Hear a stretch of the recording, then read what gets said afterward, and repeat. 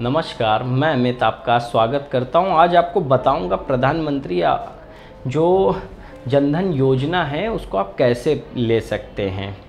कैसे यानी कि स्टेप बाय स्टेप उस चीज़ को यानी कि कैसे वो काम करती है, कैसे क्या उसका फ़ायदा आप उठा सकते हैं?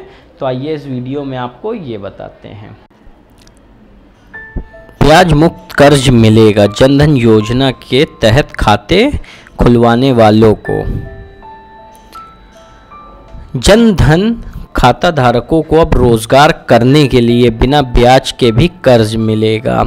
जैसे कि हिंदुस्तान में छोटा व्यापार करने के लिए भारत सरकार जो ये आपको कर्ज दे रही है, ये कर्ज की ऊपरी सीमा पाँच हज़ार रुपये होगी। बशर्ते शर्त ये होगी कि जैसे आपका खाता है तो खाता मेंटेन हो, जैसे कि आप पैसा निकालते, जमा करते हो, ये एक आसान सा तरीका है। कहीं पे भी आप जाएँगे लोन के लिए या किसी भी आप कार्य कोई भी करेंगे तो इसके लिए बैंक का मेंटेनेंस बहुत ज़रूरी होता है कि आप बैंक का जो खाता आपका है, उससे आवागमन रखिए, पैसा निकालिए, कम और जमा ज़्यादा करिए। बिना ब्याज कर्ज सिर्फ़ 24 घंटे के लिए होगा। यह जानकारी वित्त मंत्रालय में बैंकिंग डिवीज़न के वरिष्ठ अधिकारी ने दी है।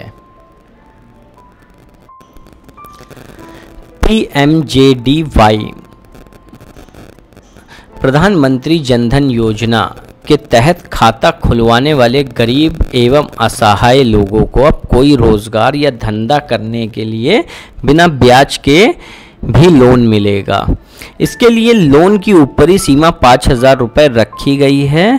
शर्त, जैसे मैं आपको पहले बता चुका हूँ कि ट्रैक रिकॉर्ड को जो आपका बैंक स्टेटमेंट है, जो आपका शो करता है तो वो आपको सही रखना होगा। अच्छा यानी कि खास होना चाहिए कि मंथली आप उसको यानी कि पैसा उसके अंदर डेबिट कर रहे हों और कम आपका क्रेडिट हो।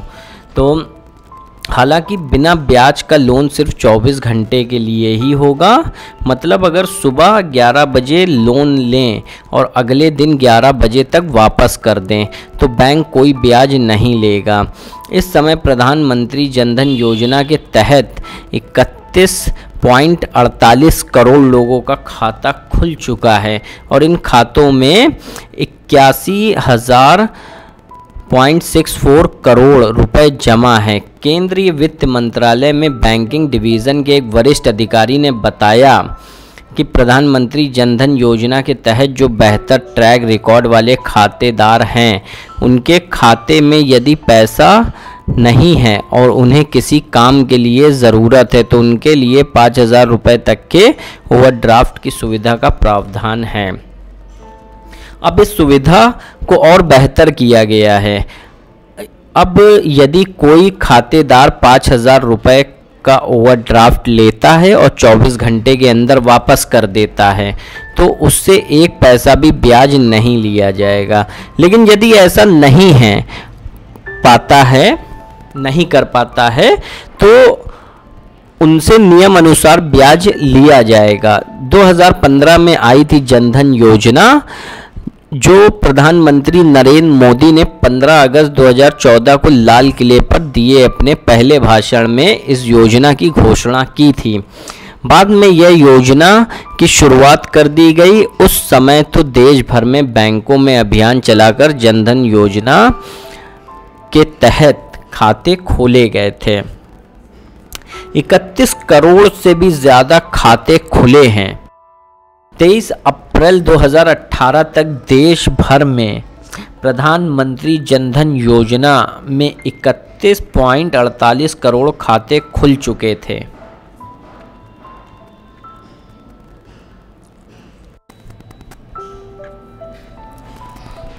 इनमें इक्यासी हज़ार करोड़ रुपए से भी अधिक राशि जमा है।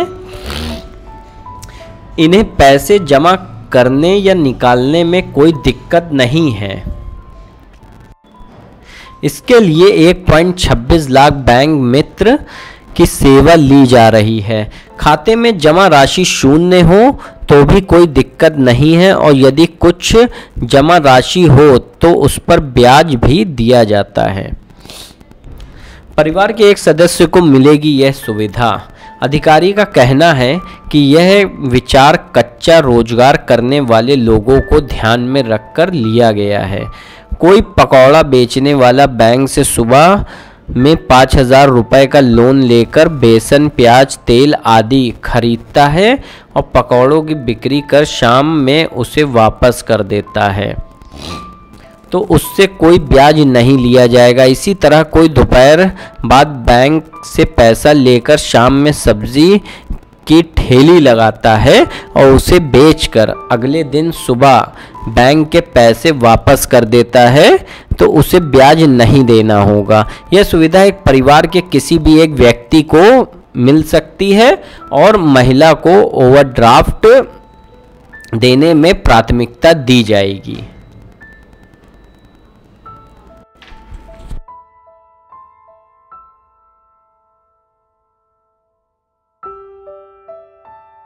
तो ये था हमारा प्रधानमंत्री जनधन योजना का वीडियो। ये आपको कैसा लगा ये हमें कमेंट बॉक्स में बताना ना भूलिएगा।